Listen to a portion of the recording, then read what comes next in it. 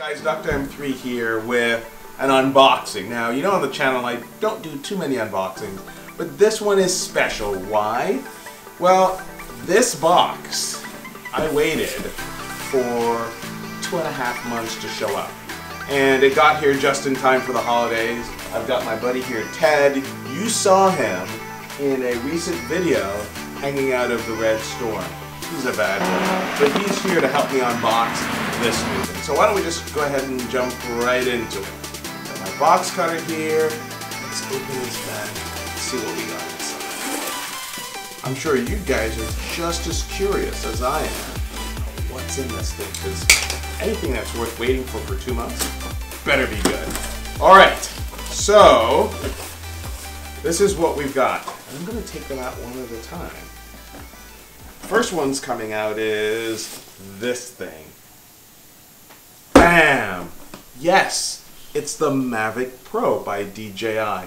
And I got the Fly More combo. So we've got a couple of other things in here. We've got this Fly More combo and this third box, which we'll find out it is. It's pretty light.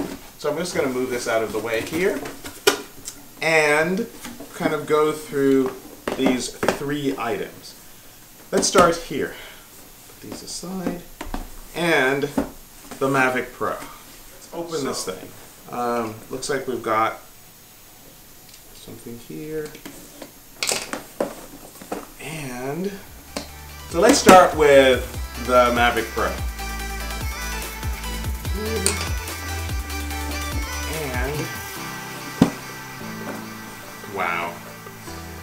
So, just looking at the box, this is this reminds you a lot of what Apple does. But first thing that really is obvious is the drone itself. It looks pretty nice. It feels solid, it feels metallic, but we're gonna take a look at the rest of the box. There is the drone itself. Then there is the controller. And um, it, it really does feel like a joystick. Clips together, see these, uh, the antennas. Feel really solid, they're plastic. They feel really solid.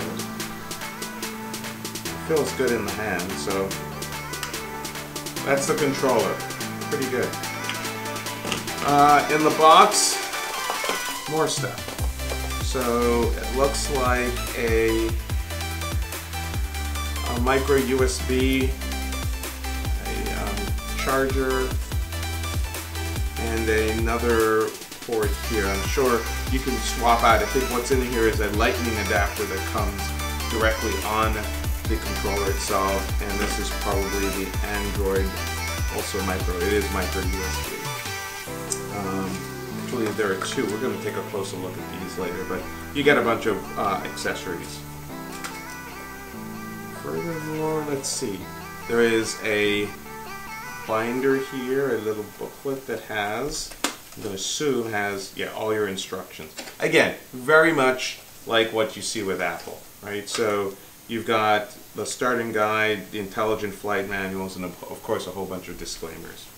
So that's that. And then we also have the power brick itself. So you have the extension cord. Um, and the cool thing about this, it looks like it has two USB ports, so you can charge your your smartphone or um, the the controller itself right from there. That's a difference from the last um, power adapter that we had for the Phantom 4, so I'll talk about that. So let me put this box aside. So that's what's in the main box.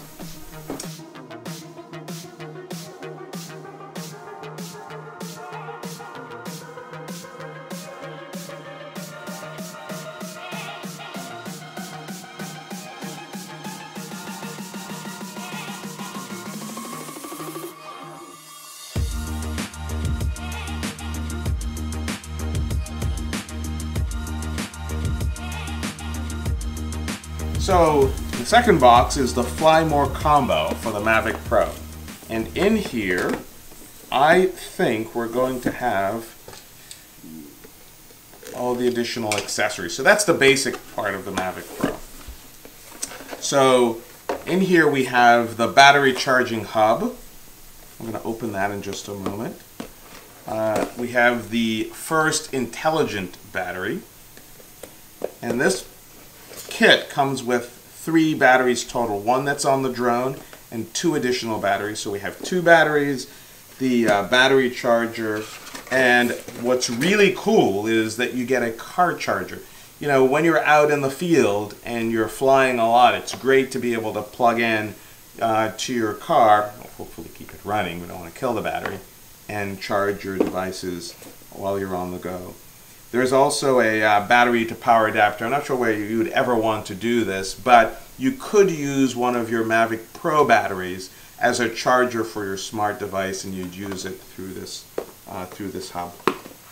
And you get two additional folding props. So um, an extra set of props. In fact, when you look at the drone, the front props are missing. Uh, and I think, I guess, you get the extra ones here. So that's what we've got. So let's uh, get this box out of the way. And look at the final box, which is unlike all the others. It's, uh, it's brown as opposed to white. Let's go ahead and open it. And in here is, aha, the carrying case for this very small drone. So I'm going to show you a comparison to, you guys know I have the uh, Phantom um, 4 now, and that's a huge backpack.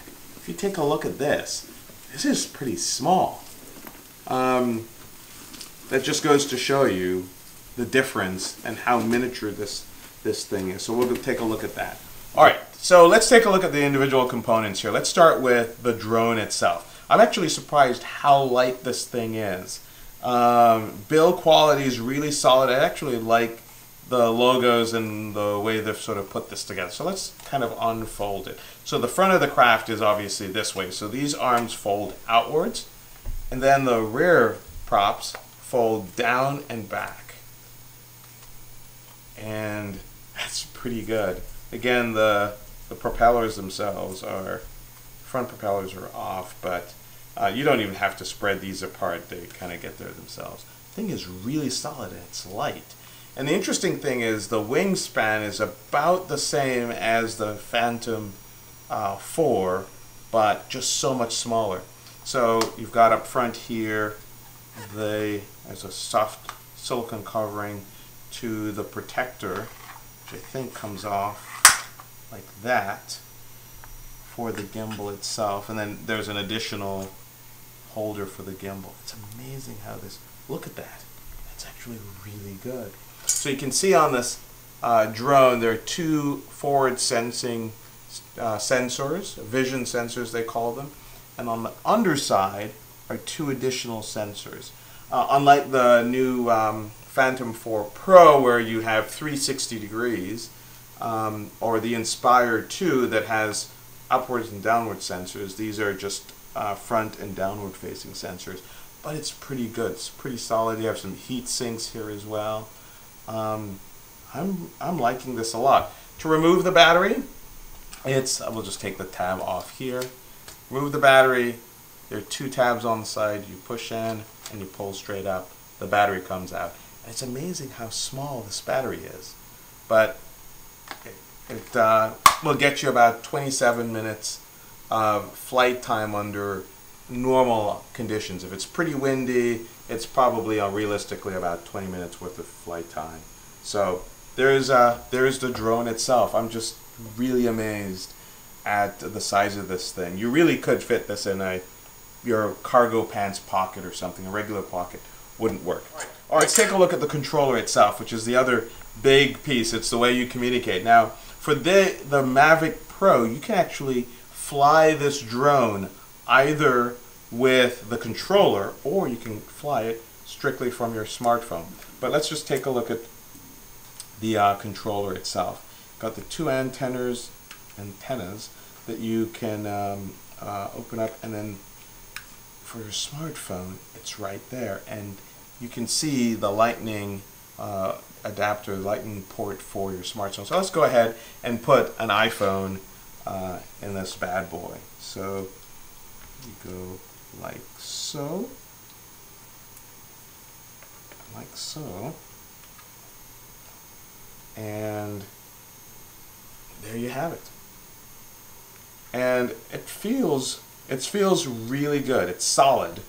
Um, and you know the controllers, the knobs themselves are, are clearly plastic. And this is if you want to use your battery from the drone as a power bank. Now, I probably would never do that, but so um, it's a small power adapter.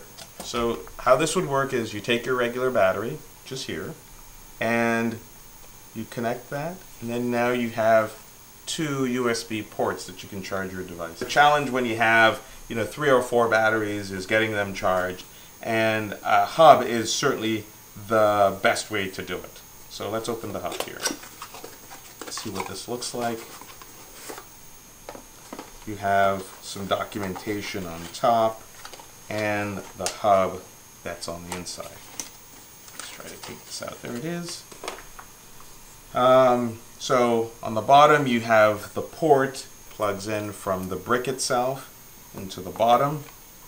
And then you have ports for four batteries. That's it. That's simple.